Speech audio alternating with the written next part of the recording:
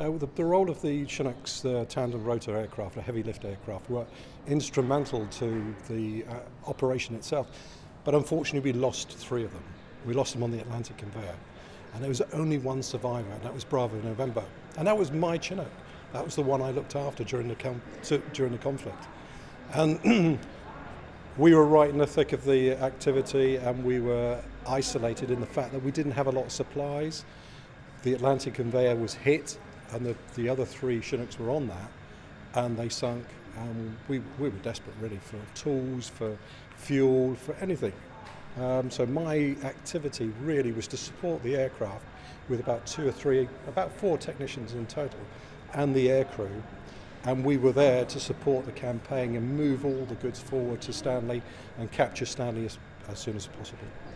Um, how did you end up becoming a Chinook technician? And can you recall the moment when you were told that you had to go over to serve your country? What was it like? It's interesting though, you're not really told, but you are told indirectly because you're part of a squadron. The squadron goes, you go.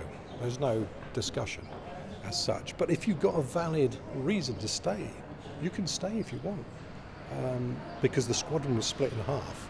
Half of them, well, just about half of them stayed behind, and the rest of them, us, went forward. And even then, because we lost four Chinook aircraft, the people that were needed to support the one aircraft were then selected again to go forward onto San Carlos and uh, to deliver and support that aircraft. So I was picked from a cast of quite a few. So it's a mixed sort of blessing, really. It was really tough. It was cold, it was miserable, and at times it was quite depressing. Were you scared? Yes, yes, because we've been shot at, and uh, I lived under a poncho, and it was freezing cold, and and food was in limited supplies in the earliest stage of the war. Um, so uh, eventually, we our standards increased, and we lived in a garage. Um, and then from there on, things improved as we got established on the island. And then, obviously, the, the Argentinians were being pushed back. Then things changed. But in the meantime, we were being attacked by aircraft as well.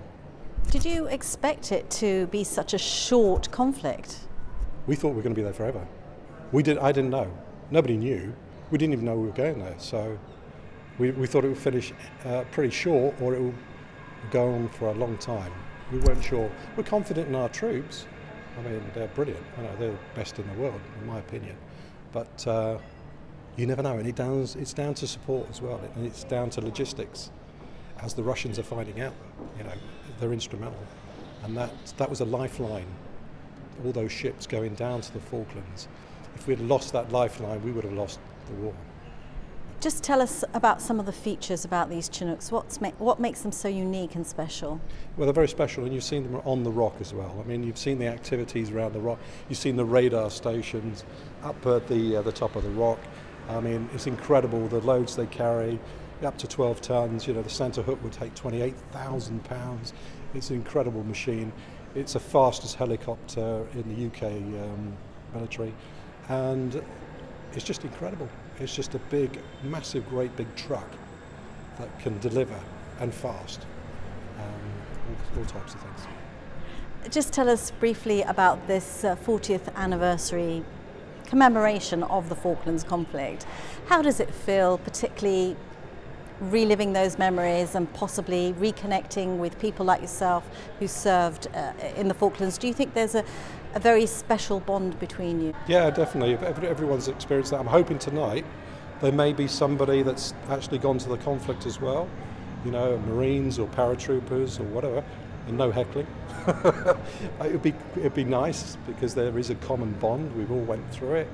I was probably on the same ship as them as well, so it would be very interesting to get some feedback as well, if they're here. I know there are a few people here but they don't really want to come forward for various reasons. I mean, I was quite lucky, really, because I was in support. The guys that really went out on a limb were the paratroopers and the Marines, you know. Um, Difficult times.